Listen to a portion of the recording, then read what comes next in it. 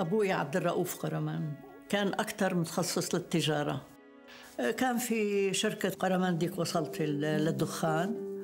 بعدين كان في معمل الثلج كان في مصانع قهوة لنا أسهم فيها كان في الملح. الملح كان يجينا معبى بأكياس خام على اسم عبد الرؤوف قرمان. الأناديل الأزازات الضوء. بتذكر عليها عبد الرؤوف قرمان مختوم. عمي كان أكثر ملهي للنظرة البعيدة لت... لتأسيس آه، أعمال جديدة للعيلة صناعة لاتصالات آه، اجتماعية سياسية في البلدية. كان نائب رئيس البلدية هو اللي راح وقابل روتنبرغ لما دخل الكهرباء لإبطن. وحفروا ابار آبار. طبعا ما كانش في مي للري لأنه بده يعمل مزرعة.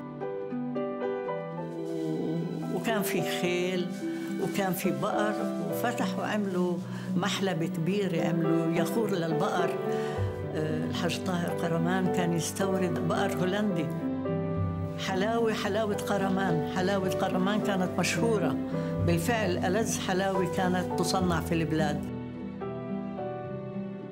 مصنع الدخان قرمان ديك وصلت كان أكبر مصنع للسجاير في البلاد كلها. كان يطلع يعني يصدر كل يوم مليون مليون سيجارة يوميا. فلما صار الاحتلال احتلوه راح.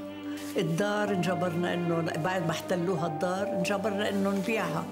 والمحلات التجارية انتهبت انسرق كل اللي فيها التجارة. كله ما بقيش شيء اللي انسرق انسرق واللي انهد انهد.